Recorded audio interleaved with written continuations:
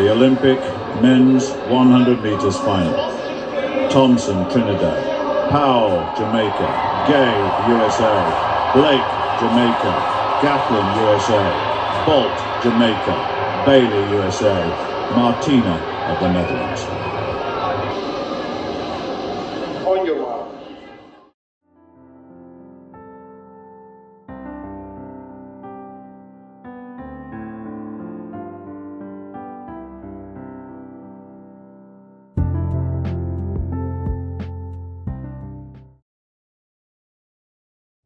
Set. Oh,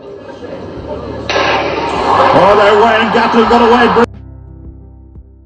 brilliantly, and he's ahead of the field at the moment, and Bolt going and here comes Usain Bolt! Usain Bolt storming through!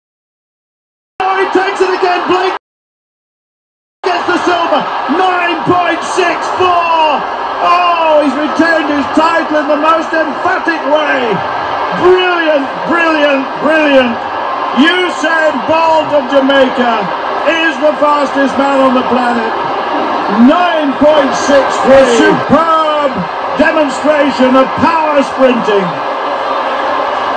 What a performance that was.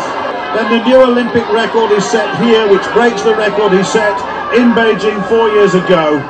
Is the showman back in form, and Yohan Blake too, and Justin Gatlin carrying the flag for the United States. 5 and 979 there. But the King has retained his crown. These great four men, before expected, Powell pulls up there. But here comes Bolt, transcending the world of athletics once again as a superstar of world sport.